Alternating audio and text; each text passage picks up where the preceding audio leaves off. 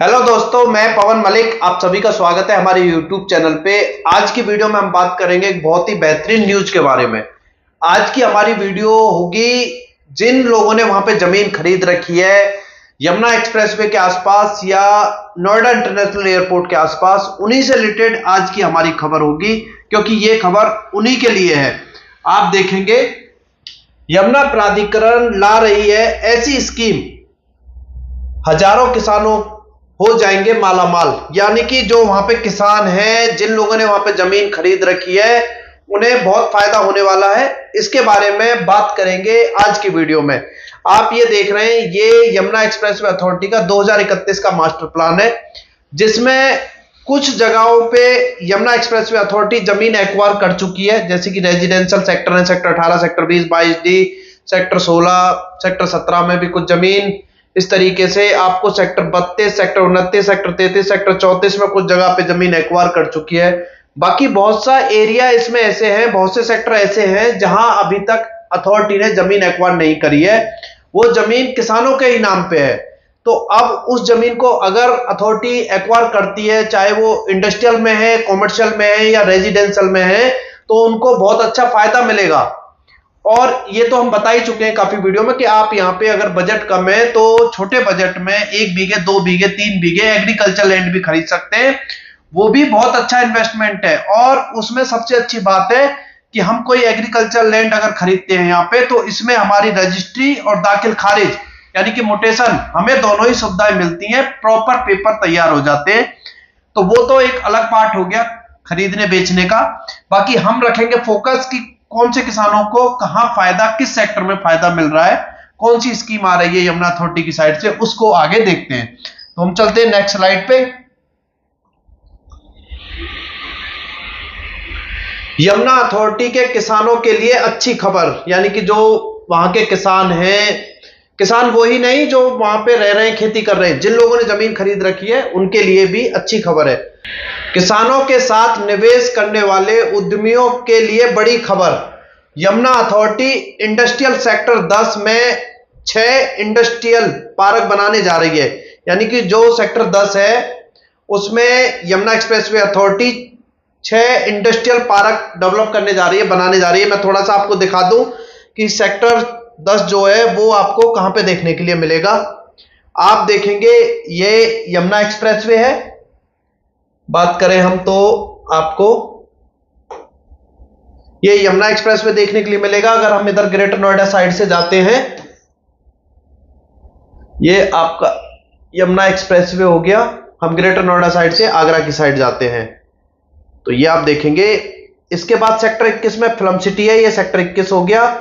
यहाँ से हम देखते हैं तो ये आपका सेक्टर 10 है, जिसमें सेक्टर 32 और सेक्टर, ये सेक्टर 32 हो गया, ये आपका सेक्टर उनतीस हो गया, ये सेक्टर 33 हो गया, ये सेक्टर 28 आपका हो गया, ये सेक्टर 10 हो गया आपका। ये मोस्टली दोनों इन चारों सेक्टरों में काम चल रहा है, कुछ कंपनियाँ भी यहाँ पे रनिंग में है। तो हम बात करेंगे सेक्टर 10 सेक्टर बस 10 ये आपको देखने के लिए मिलेगा यहाँ पे। तो सेक्टर 10 में ही छह इंडस्ट्रियल पार्क जो है वो यमुना एक्सप्रेसवे अथॉरिटी डेवलप करेगी। इसके लिए यमुना अथॉरिटी 1300 हेक्टेयर ज़मीन अधिग्रहण करेगी। यानी कि किसानों की सेक्टर 10 में यमुना एक्सप्रेसवे अथॉरिटी 1300 हेक्टेयर ज़मीन जो है वो अधिग्रहण करेगी ये छह इंडस्ट्रियल पार्क बनाने के लिए। ज़मीन अधिग्रहण करने के लिए एक सामाजिक समाधान करने के लिए सात सदस्यों की समिति गठित कर दी गई है। यानी कि एक समिति बनाई गई है जिसमें सात लोग हैं। सामाजिक तरीके से एक कमेटी बनाई जाएगी, एक कमेटी का गठन किया जाएगा। और वो इस ज़मीन, जो भी है ज़मीन एक्वार होगी सेक्टर 10 की 1300 हेक्टेयर के आसपास, इसमें किसानों से बात करेंगे। उनकी ज़मीन जो किसानों से ली जाएगी, उसके लिए एक टीम का गठन किया जाएगा। वो किसानों से बात करेंगे ज़मीन अधिग्रहण कराने के लिए। यमुना अथॉरिटी 1300 हेक्टेयर ज़मीन अधिग्रहण करने के एवज में किसानों को मोटा मुआवजा देगी, यानी कि एक अच्छा मुआवजा जो है, वो किसानों को मिलेगा। या जिनकी सेक्टर 10 में ज़मीन है, जो 1300 हेक्टेयर जो ज़मीन है, उसमें अगर किसानों की या जिन्होंने खरीद रखी है, उनकी ज़मीन आती है तो उनको एक अच्छा मुआवजा मिलेगा, एक मोटा मुआवजा मिलेगा, और अथॉरिटी उनसे ज़मीन अपना इंडस्ट्रियल पार्क बनाने के लिए ले लेगी। यमुना सिटी के सेक्टर 10 में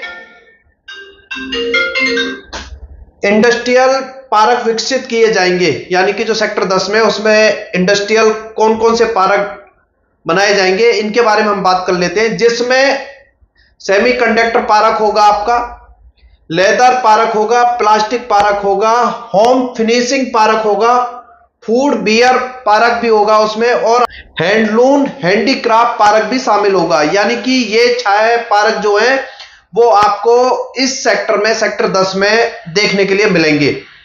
यह सभी इंडस्ट्रियल पार्क 100 एकड़ ज़मीन पर बसाए जाएँगे। यानी कि ये जो छह इंडस्ट्रियल पार्क हैं, ये आपको जो 1300 हेक्टेयर ज़मीन जो होगी, उसमें से 100 हेक्टेयर ज़मीन पर ये सभी पार्क जो है, वो बसाए जाएँगे।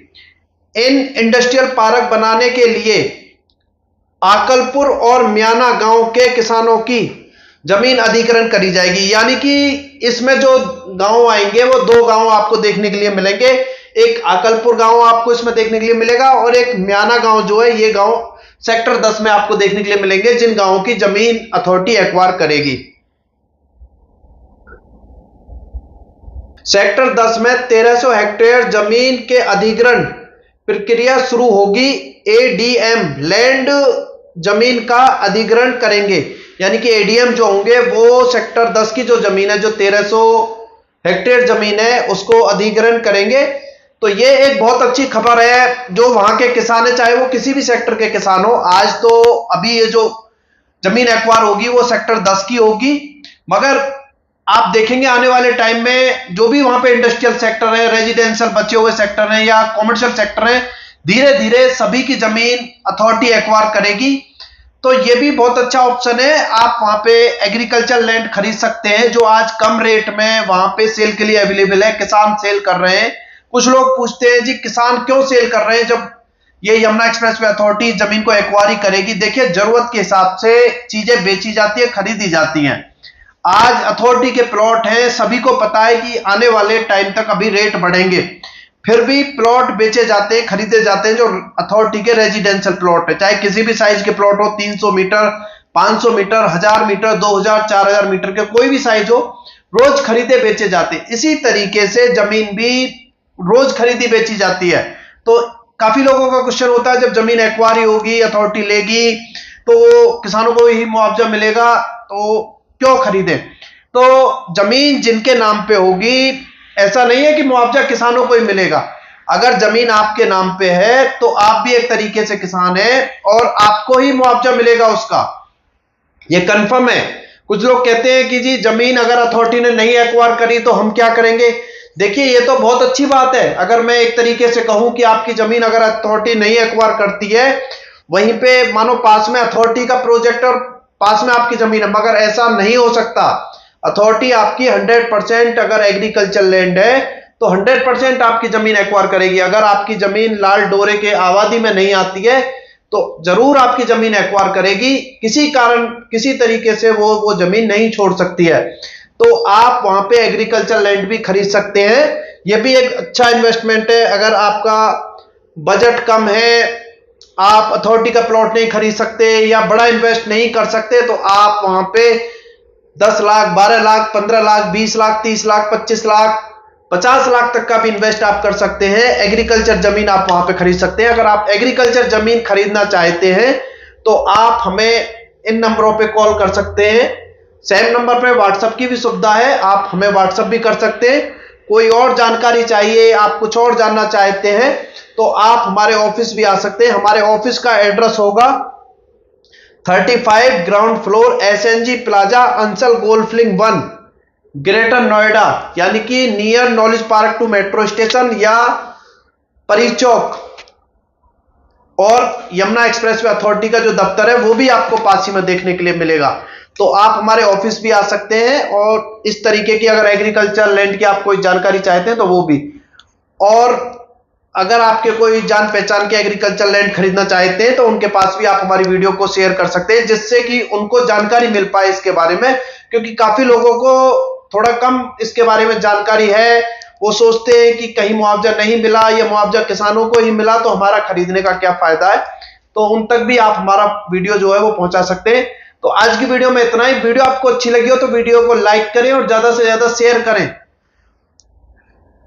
जो लोग यहाँ पे इन्वेस्ट करना चाहते हैं, उनके पास शेयर भी कर सकते हैं आप हमारी वीडियो को। तो अगर वीडियो पहली बार देख रहे हैं चैनल पे पहली बार आए तो चैनल को सब्सक्राइब भी करें बेल बटन पे क्लिक करें। अगर हम किसी भी तरह की वीडियो बनाते हैं, किसी भी लैंड से रिलेटेड उसका नोटिफिकेशन आप तक मिल सके, आप वो वीडियो हमारा देख सके, इसके लिए चैनल को ज़रूर सब्सक्राइब करें। तो चलिए, जय हिंद, जय भारत।